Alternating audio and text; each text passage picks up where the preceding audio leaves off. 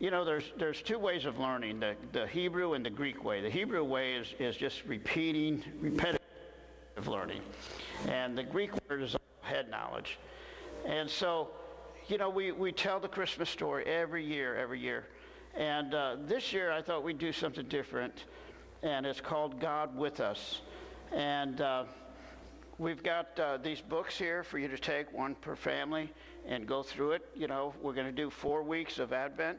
Uh, the first week uh, would be Pastor Paul. He's going to do hope. Uh, Wendell's going to do love. Uh, Kenny's going to do joy, and I'll do peace. So, and then we're going to have our Christmas Eve service at 9 o'clock here, uh, Christmas Eve. And then we'll kind of tie it all together. So every week we'll be doing uh, a subject and we'll be lighting an Advent candle. But, uh, you know, I, I just want to just kind of slow down, you know, and, uh, and really, really get Christmas, you know, let, you know, there's, there's so much going on this time of the year. And there's so much busyness and, and everything. But, you know, it's just, I just want us to slow down and be so thankful for God being with us. And uh, let's, let's just show that promotion video before we get started.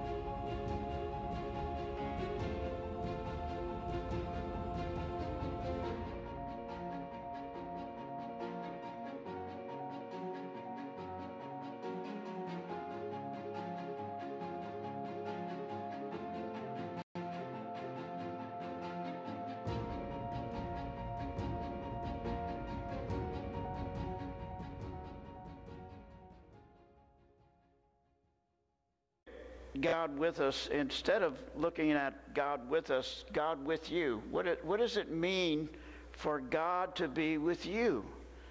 And that's what we're going to do this morning.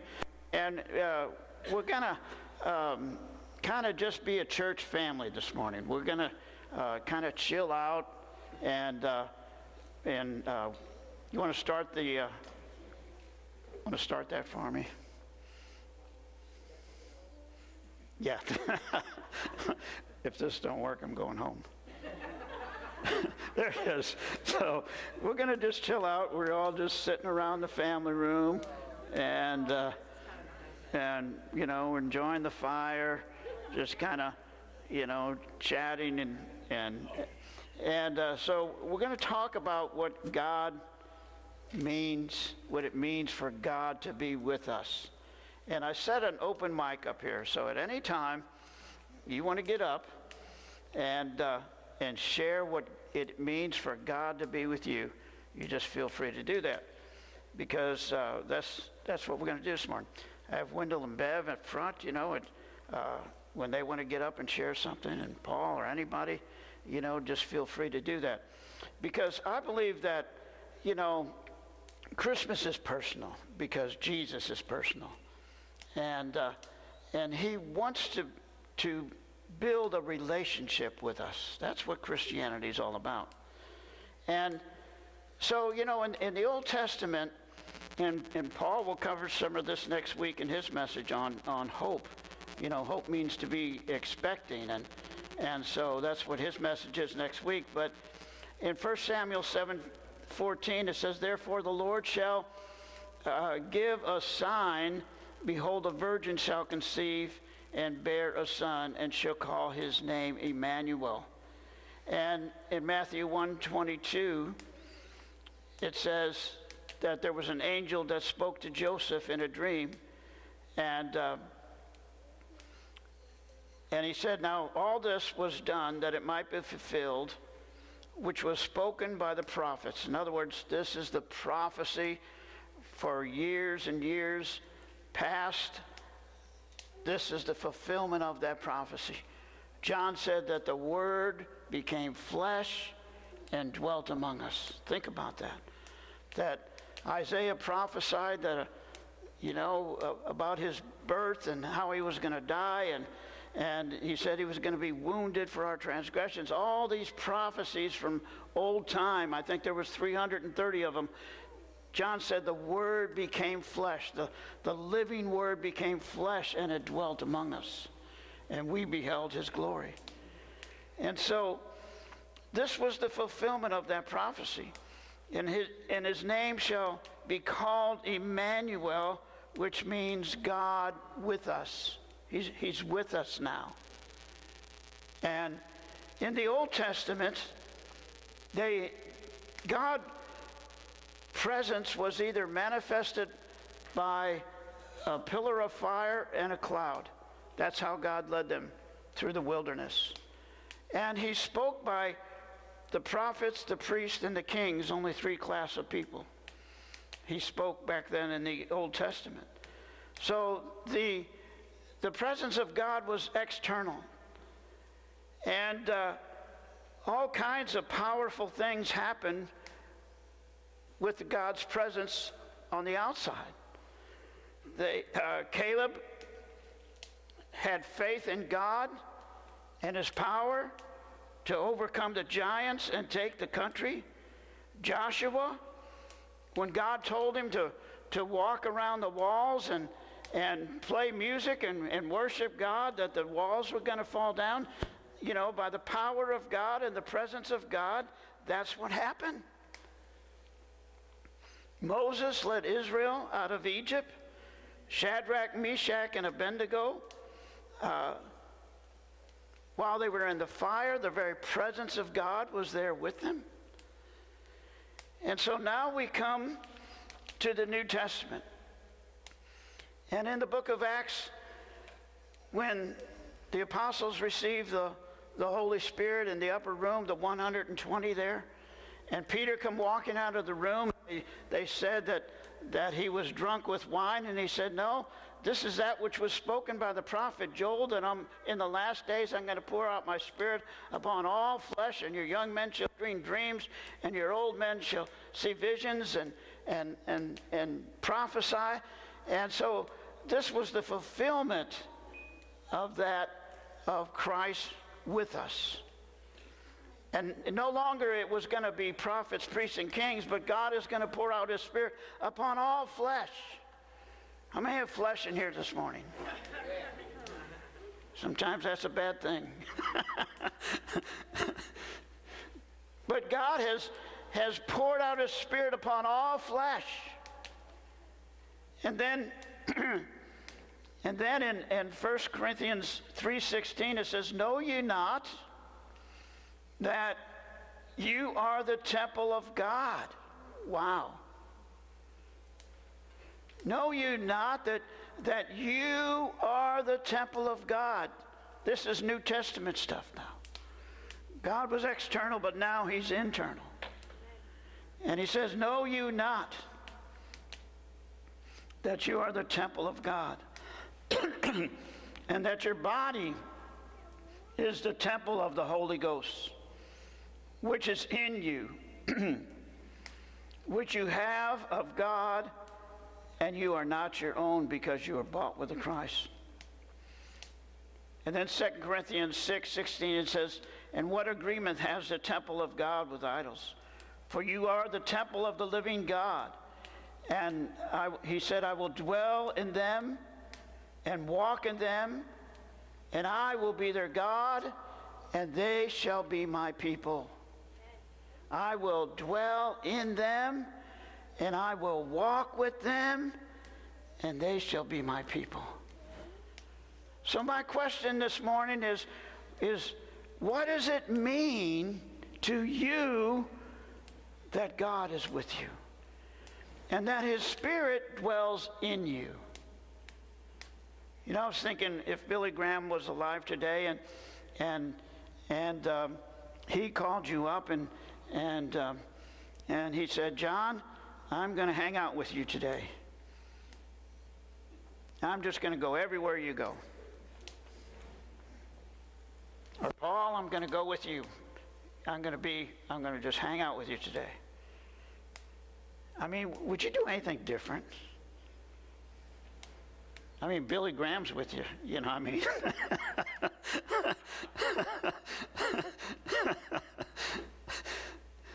but what? Someone greater than Billy Graham is with you. He's in you. And he walks with you. He goes everywhere you go. Everywhere. I remember one time when I was went to visit somebody in the hospital in St. Louis, and uh, I was looking all over for him and couldn't find him. And uh, I, I, was looking for this woman's husband, and and uh, I walked into the bathroom, and in the stall there, there was somebody's feet hanging off there, you know. And uh, I start to walk out, and the Lord said, "That's who you're looking for." I said, Well, I'm just going to try it out and see if this is the Spirit of God, you know. It says test the spirits. So I, I stood outside and waited, and sure enough, he walks right out of there. See, God was with me right in the bathroom. He, he's with us all the time. He walks with us. Isn't that awesome? He, he's no longer external and, and he, he's living inside of us. You know, in the Old Testament, they had 630 laws. So the only way they knew how to stay right with God is by fulfilling all those laws.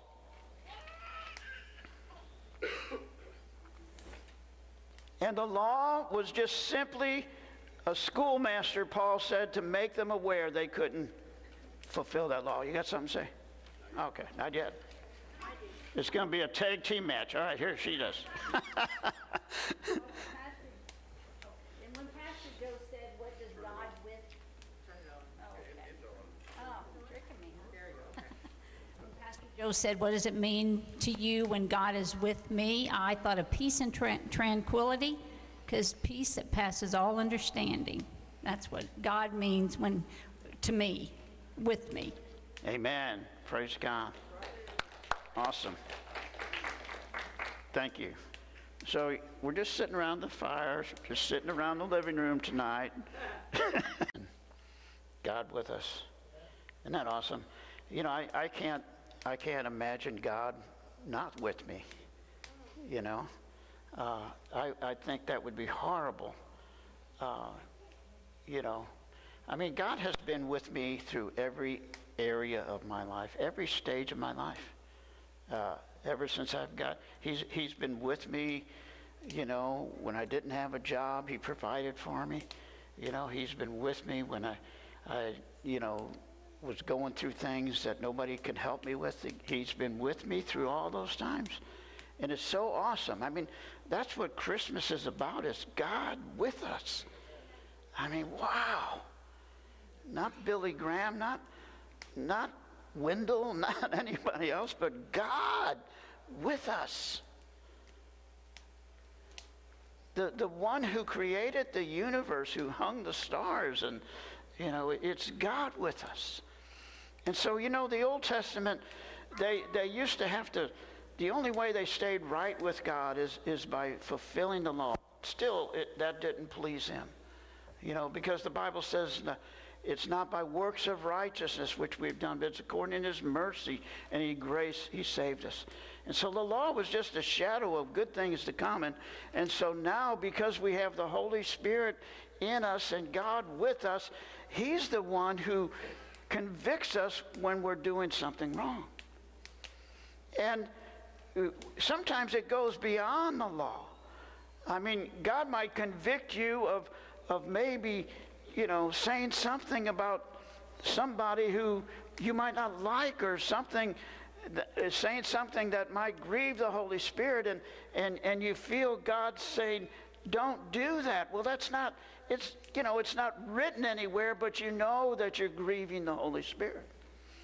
And the Bible says, grieve not the Holy Spirit of God. So, God with us, what does that mean to you? Come on now. We're just in, hey, what happened to my fire? Let's get the fire burning. uh, God with me just means a continual feast. As we sang this morning, it says, You are my feast in presence of enemies. Uh, throughout my life, I've dealt with depression. Uh, it's kind of handed down from my great great grandpa or grandma or whoever. It just kind of runs in our family. And um, when I was when I was a teenager and I submitted my life to God, that that depression left me for years. Um, and so it was just amazing that when I found purpose and I found a relationship with God, that He just that was just gone. Um, now, it tries to rear its ugly head every now and then, and you know, you still struggle with those things. But um, I just love that it said, uh, "You are my feast in presence of enemies." Because when we're met with discouragement, that's when we want to stop feasting. We want to start fasting a lot of the times, and there's time for that, and there's purpose for that, indeed. But it was such an impression upon my heart that man, we can sit in front of this. There's a scripture in uh, Proverbs 31 that says the the godly woman look, she looks at the days ahead and laughs. And so we, I think we can uh, look at the days ahead. We can look at the troubled times and we can laugh. We can have a continual feast because God is with us, and that's what it means to me. Amen. Praise God.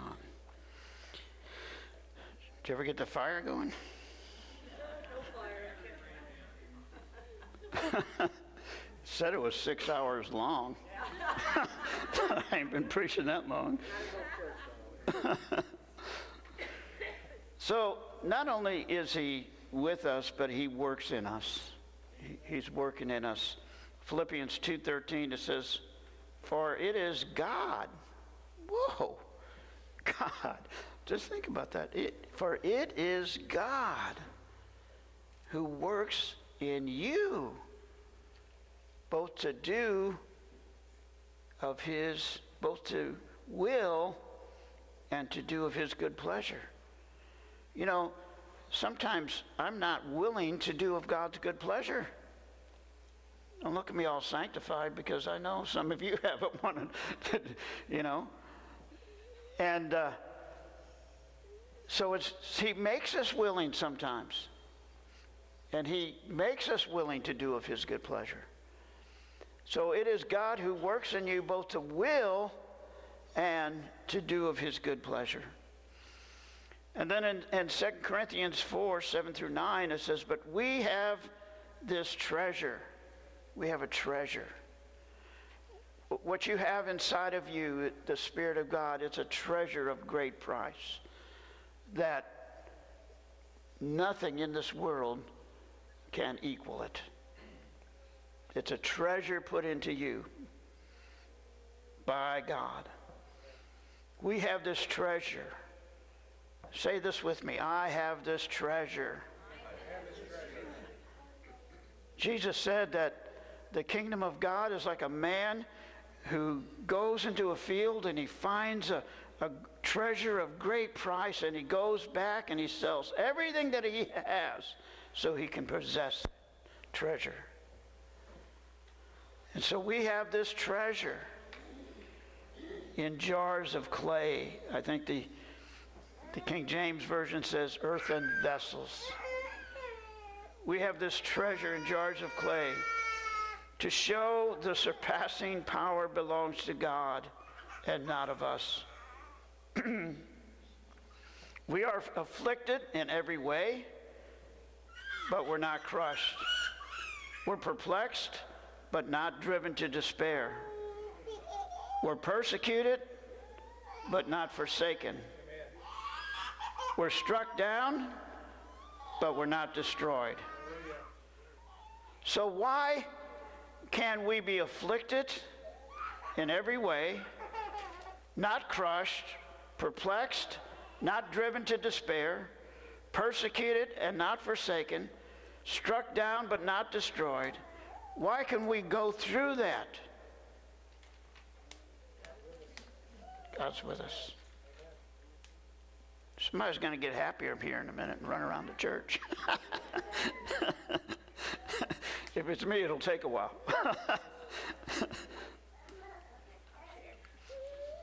okay. Um, for me, well, whenever, especially after you said that, I was thinking, whenever I think of God with me, like total lifestyle, like my whole life, and every aspect of my life of God being with me, knowing that like this, like Travis was saying, this world is not my home. Like there's an eternity, and like to walk in the Spirit whenever I'm fighting battles, that I'm not fighting that person, it's principalities and powers, that there's more going on than just like what I can see, what I can feel, this, you know, materialistic things, and knowing that there's so much that my physical eyes cannot see going on at one time, and knowing that God is with me. So then that's what we talked about at CR on Wednesday, that um, that God is present with us, and to like try to think of that, like try to physically see our eyes with our eyes physically see like God is with me in every battle at every time. Whenever I go to work, whenever I'm like frustrated and freaking out, Yep. like God is there with me. And Amen. So yeah, that's for me what it means for God to be with me is like ever present, knowing that I'm not going to be here forever and that God is with me and that there's an eternity set before me and God's going to be there and I'm going to be able to see him and we're going to, you know, worship him. So Amen. Praise God. Thank you, Lord.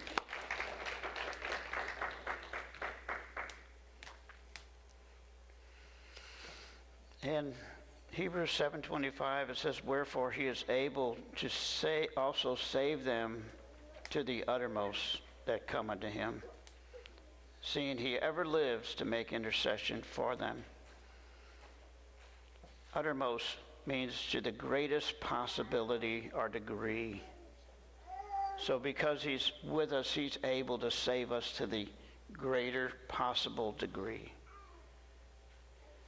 And it's God who works in you, both to will and to do of His good pleasure. You know, we can't do this thing. In our Bible study, we're talking about Romans, how, how a Christian can still be under the law and be saved. And so, you know, we're, we're talking about how Christ has set us free. And, and the only way we can overcome anything is through the power of God and His Spirit. And then in Romans 8 18 through 27,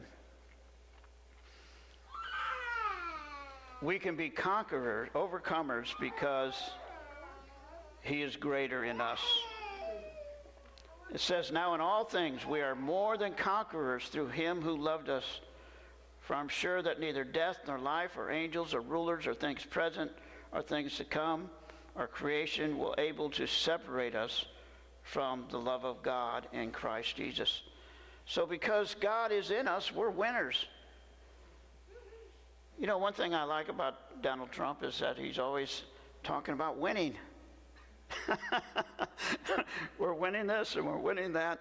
And, and I think that's good because, uh, you know, I wouldn't want somebody, you know, up there, oh, we're going to lose this and I doubt if we're going to make it here. And, you know, I mean, we're winners, we're overcomers.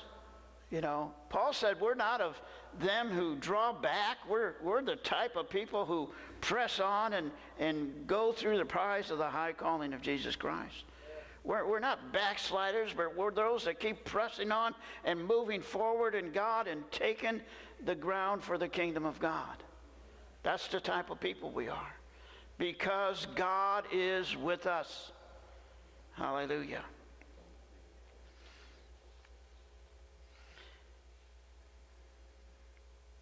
I like this verse in Isaiah 43 2.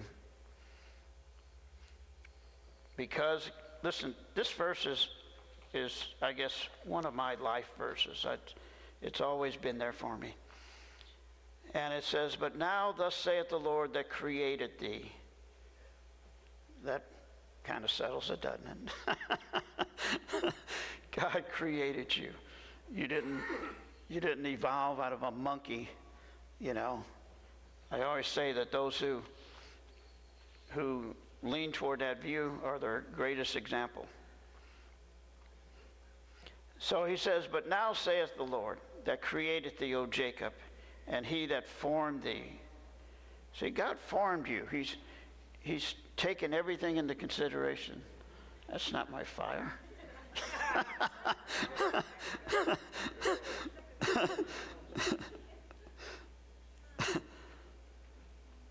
so he says that, O Jacob, and he that formed thee, O Israel, fear not, for I have redeemed thee. He's, he's bought us back.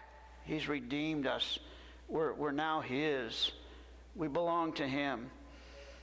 I've redeemed thee, and I've called thee by thy name, for thou art mine. Isn't that awesome? You belong to God. And, uh, and then he says this when you pass through the waters, sometimes things just overflood you and, and you know you're overwhelmed. He says but when you pass through the waters listen to this i will be with you. So when you go through stuff it says god will be with you. And then it says uh, when you walk through the fire or when you go through the waters i will be with you and the rivers they shall not overflow you when you walk through the fire, you're not going to be burned. Hallelujah, there it is. I was getting cold. when you walk through the fire, you're not going to be burned. Neither shall the flames kindle up upon you. For I am the Lord thy God, the Holy One of Israel. So when you go through stuff, how many have been going through some stuff? I mean, you know, you go through it. But God is with you. He's with you. And so if you go through the, the waters and you feel like you're getting overflowed, God's right there with you. He's going to bring you out of it. And if you feel like you're going through the fire, God's doing something. He's purifying you and perfecting you, and He's going to bring you through it. Because He is with you. And you know, because he's with you when you're going through that stuff, you could tell him, say, Lord, I think this stuff, this is horrible. I don't like this. You could express your feelings, you could express your emotions to him because he's with you. He's, the Bible says that he's, he's, he's, a, he's a friend that sticks closer than a brother. He's with you. He's, he's that close to you.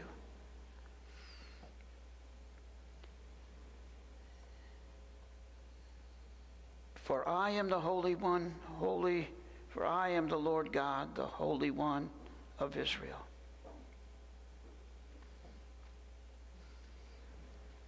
Because He's with us, you can call out to Him. Here comes a God with us. I'd just like to add what he is saying about that. I want to go back a step to God um, doing and willing in our lives. It's not on? Yeah. It is on. Okay. This year, I have gone through training for Operation Christmas Child, and I can honestly say I know I was called into this work by God. Um, he used other people to do that, but it was confirmed to me beyond a shadow of doubt. And that is an amazing thing to know that you are in God's will and doing what He wants you to do. Having said that, the training that I've undertaken has been extensive. It's taken me a good six months to complete it, you know, on top of working and doing everything else that one does.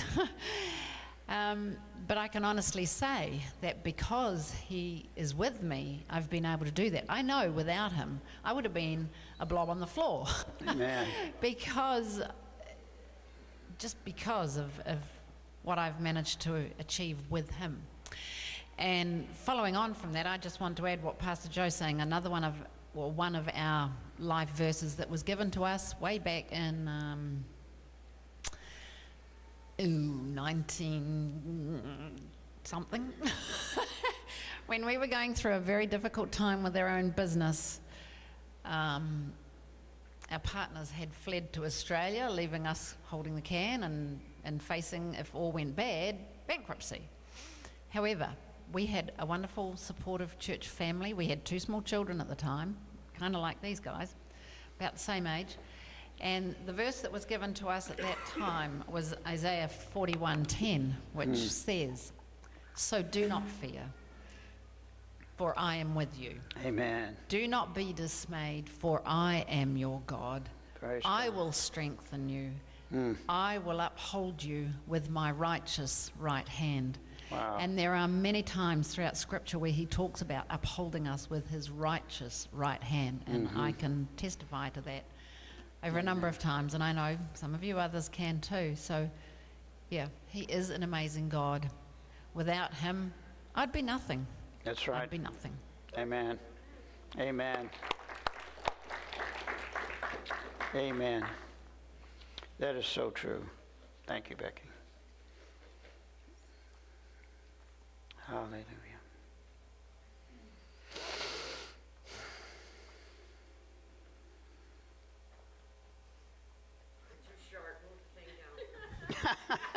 I can do this without being a crybaby. Without him, oh, let's see. Most of you know that I work at the daycare. Such a blessing, such, such, such a blessing with Mazonico. Speed.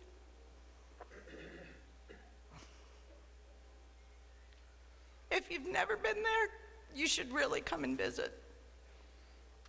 God, with me, has given me the opportunity to teach His Word to the littlest of people who are our next generation. Every day. There's nothing better to walk in that building. In the last three years, I've been through a big rocky road. And.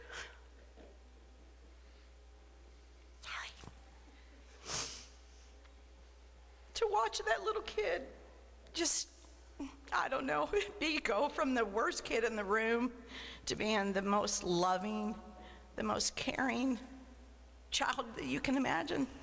To tell you Jesus loves you, to walk around and sing that Jesus loves you, to have that parent who doesn't know Christ to come in and say, Oh my gosh, my son was singing Jesus loves me. Did you teach him that? Well, yeah, we taught him that because that's what we do, you know to not only be able to witness to the women that serve underneath me.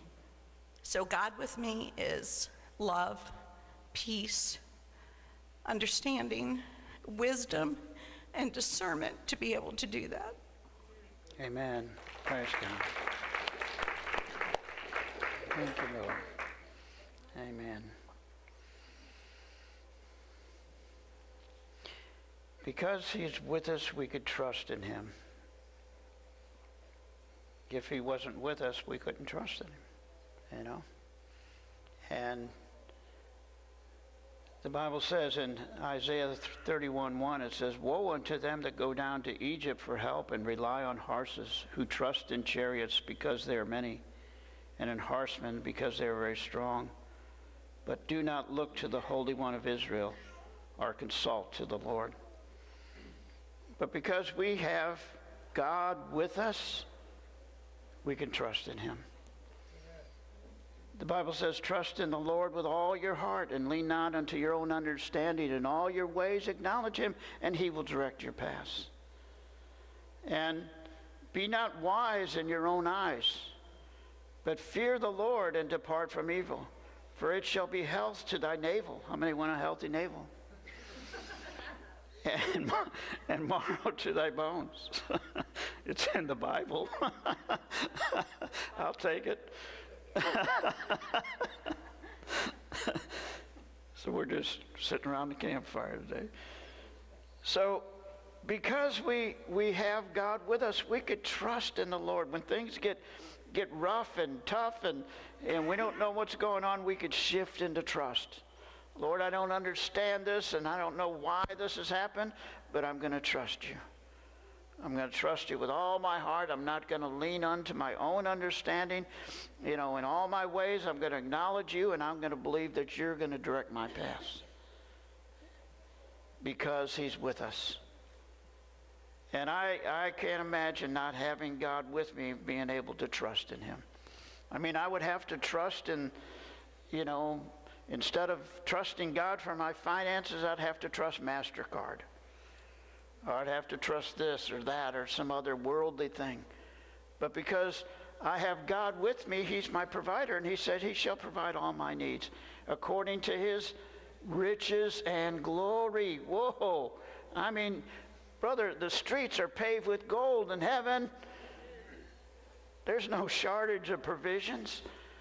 And so he says he'll provide for me, and he's my, he is my provider because he's with me.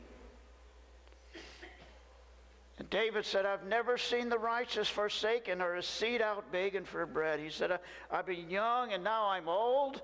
And he said, I've never seen the righteous forsaken or his seed out begging for bread. And I could, I could say amen to that because I've never, we've never been without. God has always provided for us. Always. Because he's with us.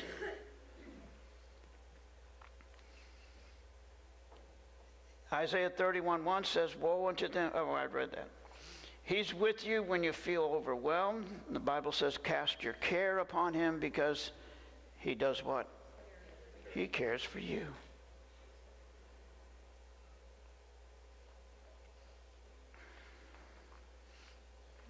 Anybody else? I only got a couple more scriptures. now break the mic up.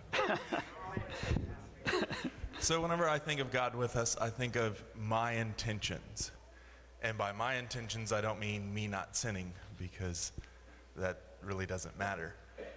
But I think of this Bible study I sat through the other day, and the instructor talked about, you know, truly living like God's with us.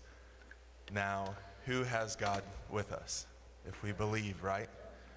How many people do we come in contact with that doesn't?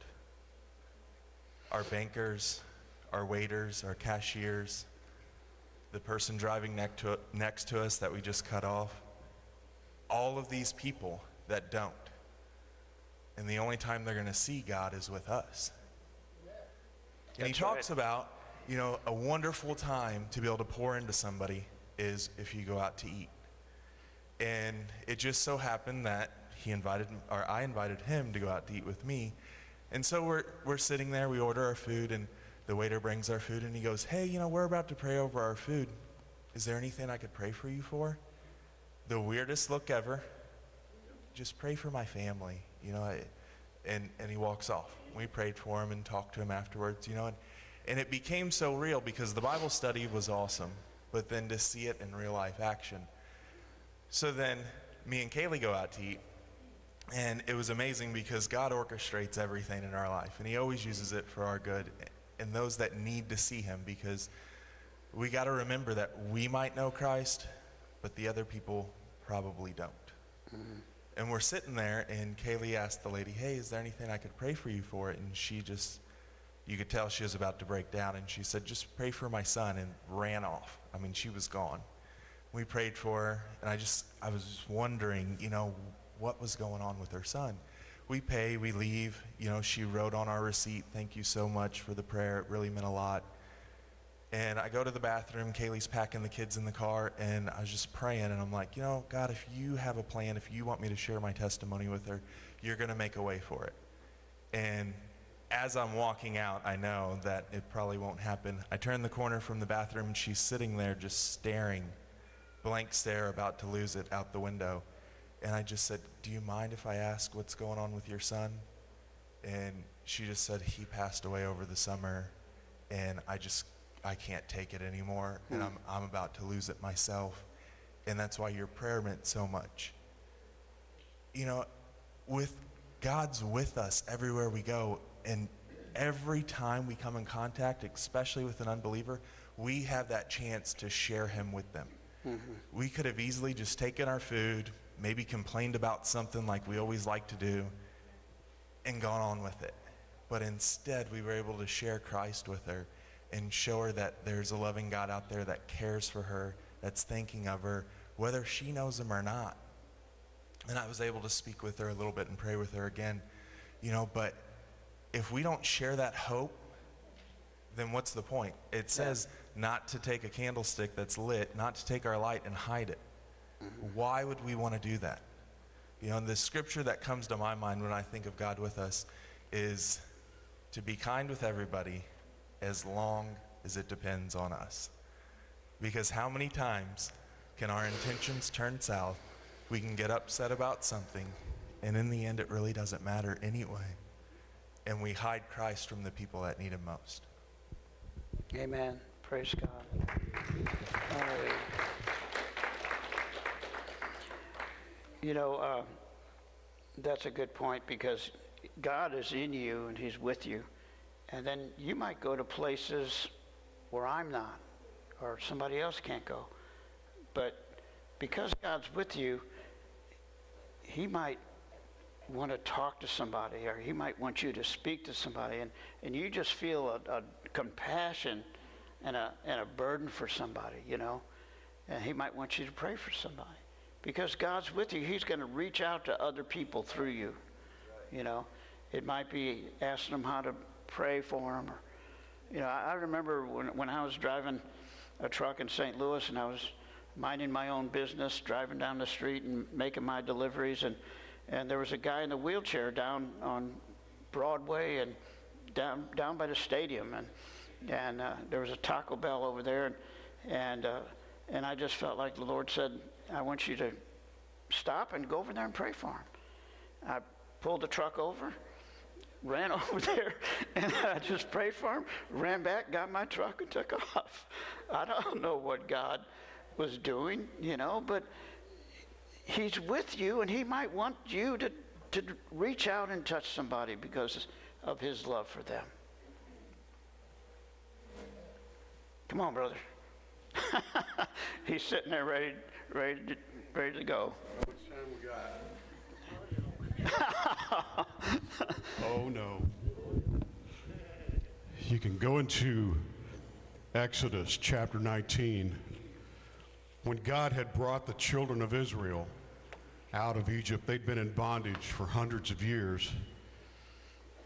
And they were estranged from God. Other than just being Hebrew, they really had no relationship with God. They were keeping the law the best they could. And they come to a place called Mount Sinai, where Moses was talked to from a burning bush years earlier. And God told Moses, Come up this mountain. And he, he gave Moses specific instructions to cordon off that mountain so those people couldn't come up. The priests couldn't even come up because there was no relationship with God. They were estranged from this God, and God would have had to destroy them because they were not holy people in the presence of a holy God. I want to take you into 2 Corinthians chapter 5, verse 18. And all things are of God who hath reconciled us to himself by Jesus Christ and hath given us the ministry of reconciliation. That's right. To wit, that God was in Christ, reconciling the world unto himself, not imputing their trespasses unto them, and hath committed unto us this word of reconciliation. Mm-hmm. Yes. Now then, we are ambassadors of Christ, as though God did beseech you by us. We pray you in Christ's stead, be ye reconciled to God. And this comes down to a very personal relationship. This comes down, ladies and gentlemen, to one on one. It comes down to one simple idea, one simple premise that God so loved, so loved this world that he gave his only son for one reason that we can be reconciled to God. So when we come to Mount Sinai and God's presence rests on that mountain and there's thunder and lightning and that cloud of smoke is there, we don't have to cordon off the mountain. Hmm. We can go up the mountain That's right. and be with God. That's right. God with us is a great idea. There are people in this room that I know, and there are people in this room that know me, but we don't have a relationship. And us being together like this is a great thing.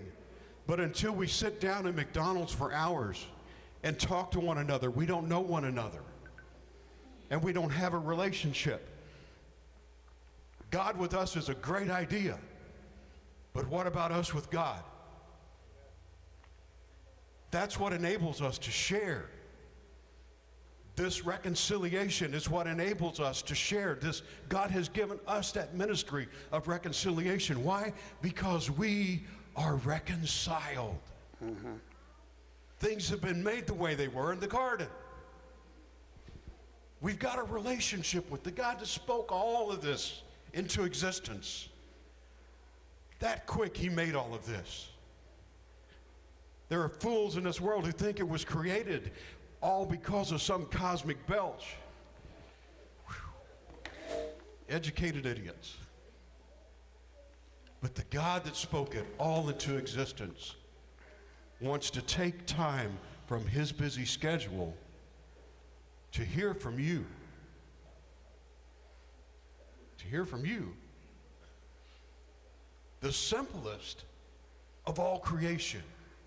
He wants to take the time to bend an ear and be with us. Why? Because we need to be with Him.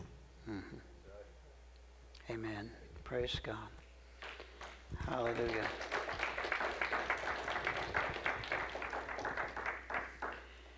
Anyone else before we close?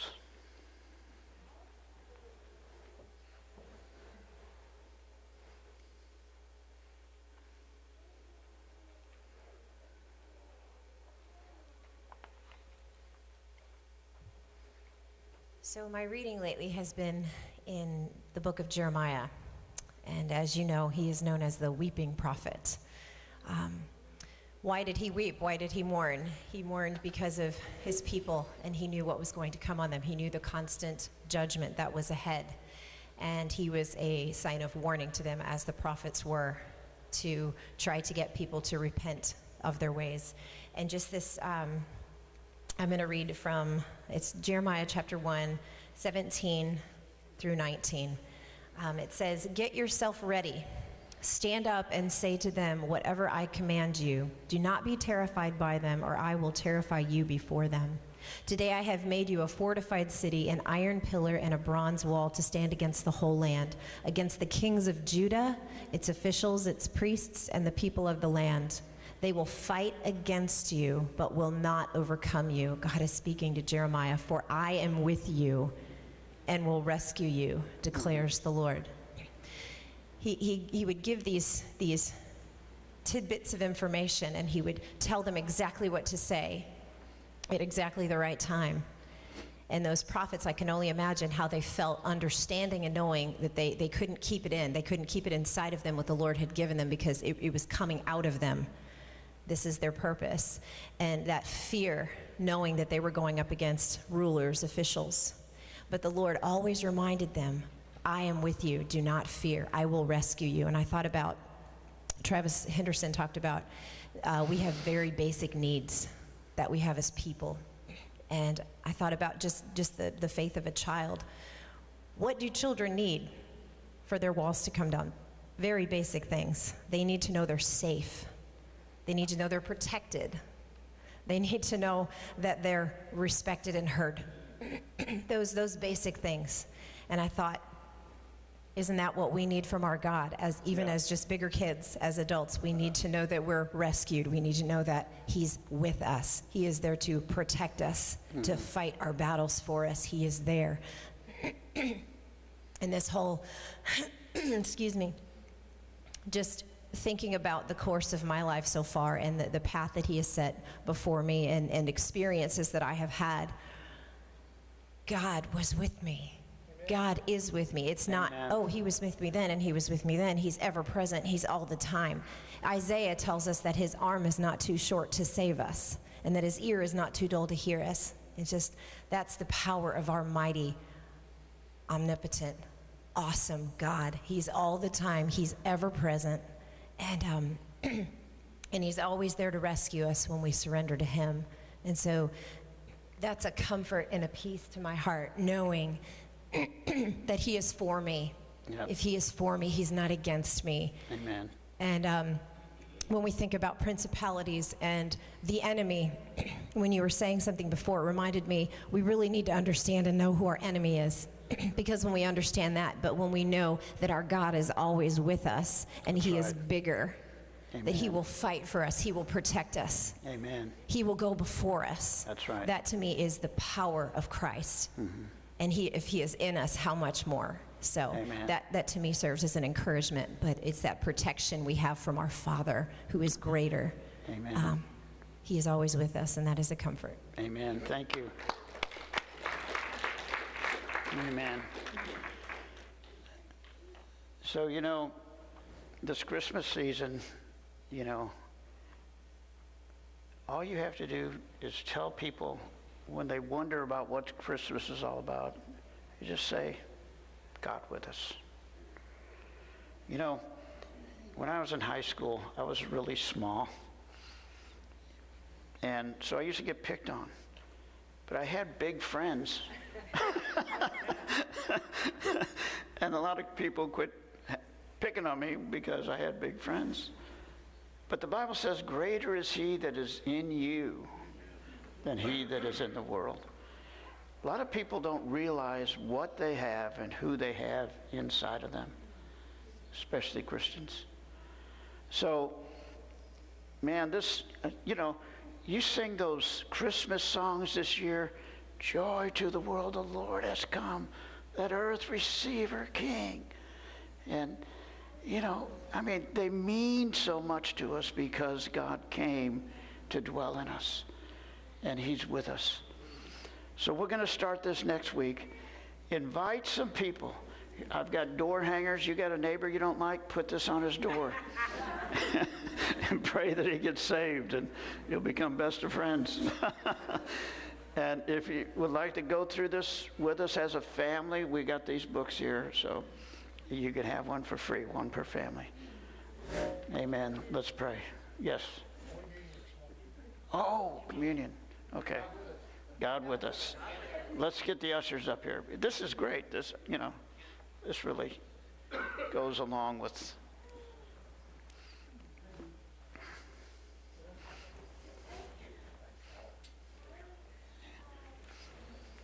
I need more. Praise God.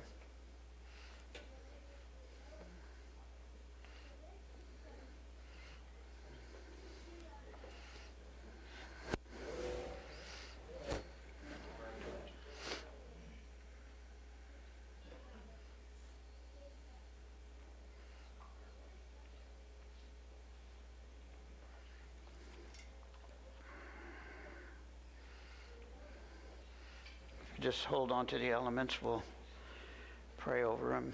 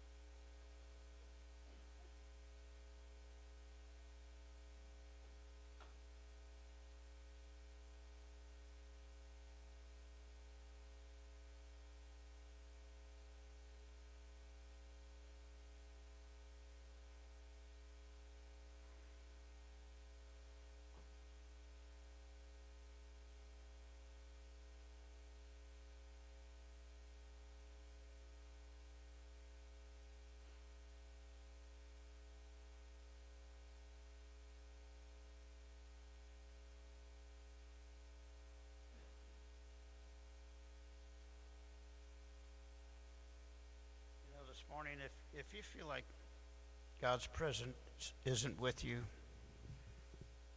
you know, maybe you've kind of drew back, you're not as on fire as you used to be, you know, fellowship and you don't read your Bible, kind of got away from the things of God. Just like Wendell was saying, you can be reconciled this morning to the blood of Jesus Christ. You know, the Bible says if, if we confess our sin, He's faithful and just to forgive us and to cleanse us from all unrighteousness. He wants to redeem you this morning. He wants you to know that He is with you every minute of the day. He wants to be that close to you. And if you feel like you've, you've lost that presence this morning, you could be reconciled. Lord, we thank you for the blood that was shed, the Lamb of God, which takes away the sins of the world. We thank you that blood was shed for us, that we could live in the newness of life and walk in reconciliation with the God who created the universe. So we take this blood in remembrance of you, and we thank you for it.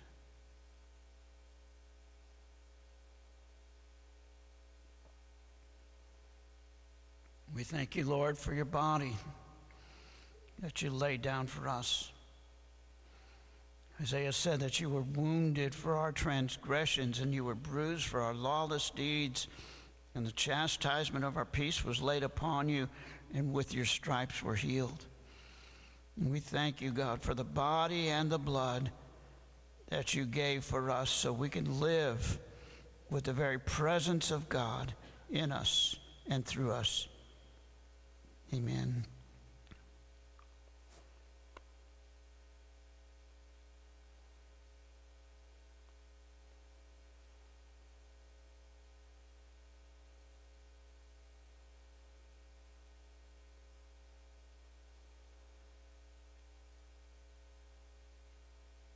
Lord, I just ask as we go from here today we start the Christmas season, Christmas Advent, Lord, that we could just come and have a, a renewed understanding of God with us. And Lord, that we would be so touched and so blessed this Christmas season that it would just overflow to our families. They would see God with us. They would see that we're trusting in you and, and we're walking in your ways and your presence is in us, Lord. So I just ask that you would breathe a, a new freshness of the Christmas experience to your people. And Lord, that we would bring people, Lord, that, that don't know you, who aren't reconciled to you, God. And we would see those lives change for the glory of God. In Jesus' name, amen. Praise God. Amen. Hallelujah. Lord bless you.